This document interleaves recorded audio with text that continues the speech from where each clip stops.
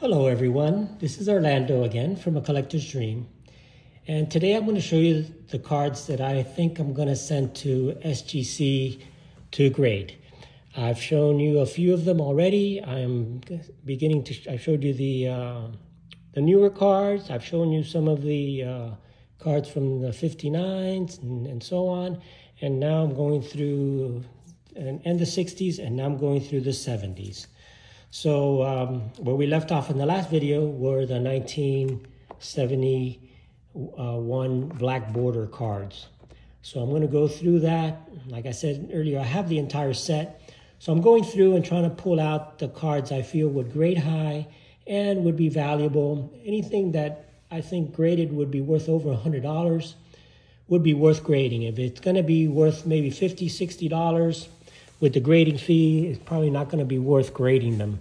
So I'm going to go through the 71s. So uh, like I said in the earlier videos, if you find any cards that you think I should get graded, please put it in the comments below as I show you all these cards. Um, I'll decide, or you, we all will decide which ones I'm going to send to SGC to get the, to get them graded. So uh, again, here's going back to the 1971s, Thurman Munson, Roberto Clemente. This one's off-centered, probably not going to send that in. This is a high number Richie Allen card. This is a very rare card in nice condition like this. So I'm probably going to send this in. If it gets graded anything uh, above a seven, it's going to be worth some money because this is a uh, one of the very high number cards from 1971 and it doesn't have any issues uh, the rest of them, uh, Boog Powell.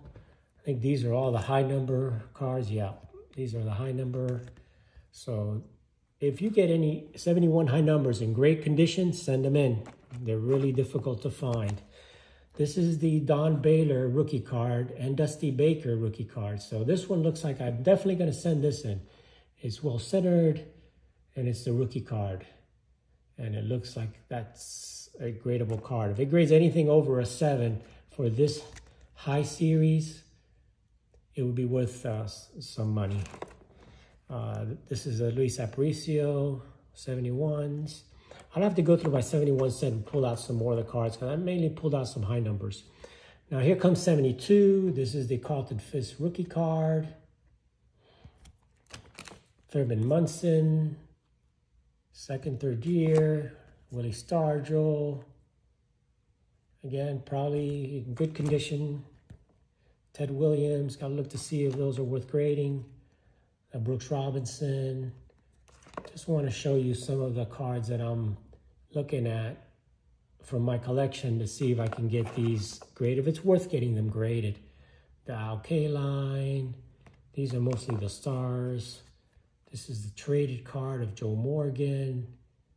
These are actually uh, high number 72s.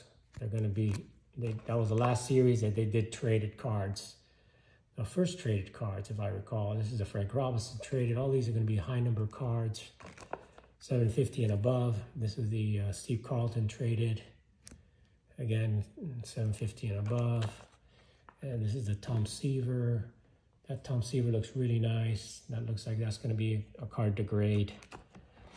Uh, so let's keep going here.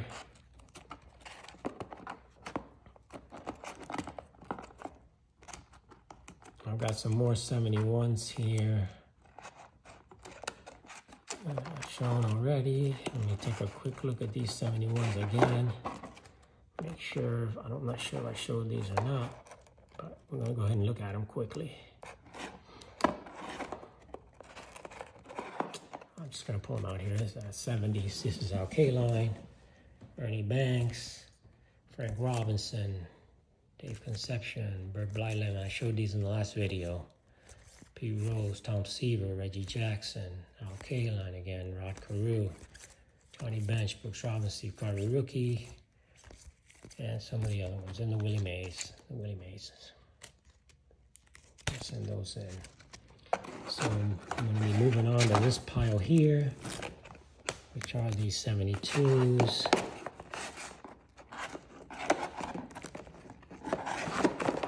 And this will be the last of the box. Oops. Okay, here we go.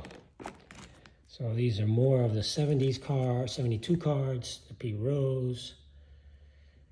You know, any of these, I'm going to be sending them in. This is the Steve Garvey. I think that's the Steve Garvey rookie card or second year. Rod Carew. These are very nice. These are worth grading. Some of these, Rod Carew in action. The Rollie Fingers. The Willie McCovey. Again, in very nice condition. Probably going to be worth grading that. The Hank Aaron, this one looks like it's uh, miscut. I was going to send that in last time, but it was a miscut. I didn't send it in. That won't go be, it won't be going. The Clemente, I love this Clemente card. The Clemente in action. Johnny Bench. Reggie Jackson, 1972. Now we're going to the 1973s. 1973 Nolan Ryan. I didn't send that in because it has a little back corner. The Hank Aaron. These I pulled out of packs when I was a kid, all of these, and I said that in my last video. But you can go back and look at the ones that I actually did send graded. They came right out of this box. This one I'm going to send it in. That's the Nolan Ryan, Steve Carlton, Strikeout Leaders the Clemente, any Clemente, I'd really like to send those to get them graded. And this is a nice card. I love this. This is from the 1974 and the card number one. And that's when Hank Aaron broke the record. Uh, he hadn't broken it at this time, but they were expecting them to break it. So that's a good card there. This is a Babe Ruth, all-time RBI leader. This is the uh, Al Bumbry Dwight Evans rookie card. This is the number one card from 1974. I think I'm going to send that in. That looks like it's nicely centered in good condition. If I can get like a seven for that, which I probably could, it's probably worth grading. This is the number one card from 1974. Uh, another 74. This is the second year Mike Schmidt. Uh, I did send the rookie card in, the 73, and it got a seven. You can look at my videos. Uh, the 1975 cards. I did send the uh, the Brett rookie and the Yount rookie in, and they both, I think they got like a six on those, but this is the Jim Rice rookie. These 75s, again, are really tough to get in good condition. The, the Gary Carter, that's got a bad corner, so I'm not going to send that in. Uh, the Phil Garner, Keith Hernandez, that one looks like it's in great condition. If it's worth some money, I may get that one graded because it looks like the corners are nice and sharp on that. Uh, this is a 78. These are more rookie cards that I just put in there. This is the Jack Morris rookie. These are from the 70s. That's the Andre Dawson. I think that's a second the Topps All-Star. Second year Eddie Murray. I send in the rookie Eddie Murray, and I think I got an 8 on that one. This is Cal Ripken rookie. Probably not worth grading. Tony Gwynn rookie. I sent in a few Tony Gwynns. They didn't come out that great, an eight or a nine. They got to come out a nine or more if you're going to get anything worth their while. If not, don't bother grading them.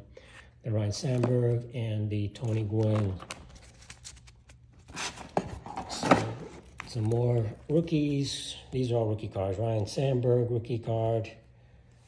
The Doc Gooden, rookie card. Don Mattingly, rookie card. Again, these have to be grade high. So if they're not going to grade high, they're not worth it. This is the Kirby Puckett rookie card. You know, some of these I'll take a good look at. They probably could grade a 9 or higher. This is the Dan Marino rookie card, second year. I did send his rookie card in, and I got an 8.5 on that. So um, we'll see. Second year Dan Marino. That's a tough one to get because of the black borders, but it looks pretty good. I may send that in, nicely centered. That may be what's going in. This is the starting lineup, Dan Marino. Don't know what that's worth. Uh, this is the Alex Rodriguez rookie. Um, not sure if that's worth grading. This one's probably not worth grading, even though it's electric diamond. Unless it's a mint, no, a mint, a mint 10, I'm not going to get it graded. That's the Cal Ripken rookie card from the traded. I almost sent that in, but it was so badly off center that I decided not to send it in. That's not going to grade more than a six, so I'm probably not going to send that in. Ozzie Smith rookie card. That looks pretty good, just a little off-centered. Maybe worth it, maybe not. Barry Bonds, rookie card. McGwire. That's the Jose Canseco, which I already have. Again, a lot of this looks like it's dirty, but it's it's the act. It's really just the the holder. The holders are kind of been in there for a long time. More Canseco rookie cards. Probably not worth sending these in to be graded. Canseco rookie card. And the last one is the Joe Carter rookie card. So uh, way off centered. So anyway, I showed you this entire box of cards from here. I'm going to pull out at least uh, 50 to 100 cards and see if I can get a good grade out of these. If I can, that'd be awesome. You know, if they don't look like they're going to grade higher than a 7 for the vintage, maybe a 6 on some of the 59s and 60s for the 50s and 60s. If they don't grade any higher than that, I suggest don't send them in. If they're going to be grading a four or a five for, for vintage cards, unless it's a big name star, it's not worth it. Uh, if they're going to grade a, a seven, an eight, especially for the cards like the 60, 59s and 62s, I would definitely recommend to, to send those in because those are probably going to be worth, you know, with the money worth grading them. So that's kind of my advice right now. Because of the way the economy is, I'm not buying any cards. I'm going through all my old cards, going through all my old collection, and just really uh, organizing, uh, grading the cards that I feel are worth grading, and uh, we'll see you know how they come back from SGC. So getting ready for this other submission, um, and I'm going to be going to the national also. Um, I'll be taking a few of the cards that I graded to the national these cards that I'm going to be sending in probably will not be ready, even though SGC takes about three weeks to get them graded. But uh, I'm going to finish going through these cards in the next few days, deciding which ones I send in to get graded, and uh, we'll let you know. So please uh, like and subscribe to my videos, and uh, I'll be showing you some more cards as uh, as time goes by. Everyone have an awesome, awesome, amazing day and I'll talk to you again soon. This is Orlando from A Collector's Dream. Thank you.